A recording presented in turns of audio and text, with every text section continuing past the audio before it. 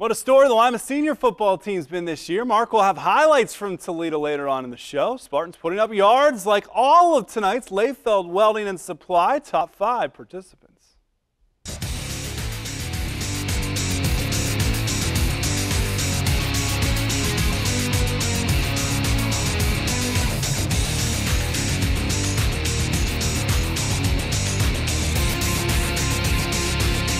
Emmanuel Mogaloo gets the pitch and watch him go. A big play threat every time he touches the football.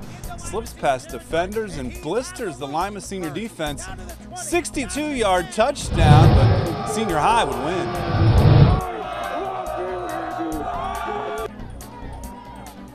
Blanchard Valley Conference football at number four. Liberty Benton and Arlington. Nathan Kraft drops back. A gorgeous play action pass to B.J. Lawson who reels it in. A 70-yard touchdown for him.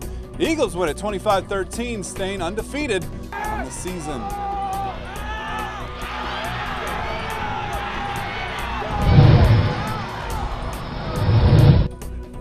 At number three this week, the homecoming game for Waynesfield as the Tigers square off with NWCC rival Perry.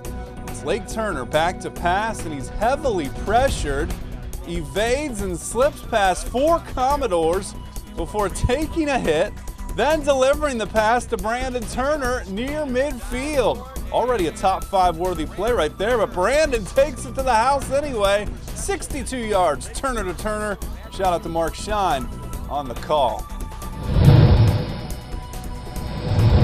More homecoming football for the runner-up spot this week. A pair of plays from Marion Local and Anna Doc Rethman. Rolling out, throws a missile 50 yards in the air on the run. Hunter Wilker comes down with it. Doc has a cannon. A few plays later, it's Rethman back to his favorite target. Wilker, the 28-yard touchdown. Flyers win 41-13.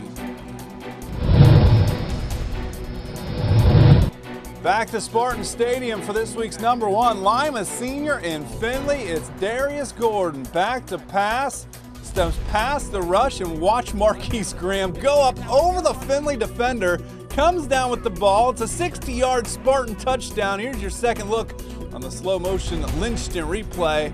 Lima Senior 6 0 for the first time in school history as the Spartans win at 56 17. 336 total yards covered on this seventh edition of the Leifeld Welding Top 5 Plays. Follow the Top 5 on Twitter at WOSN Top 5 Plays. Send in your nominees for next week's countdown.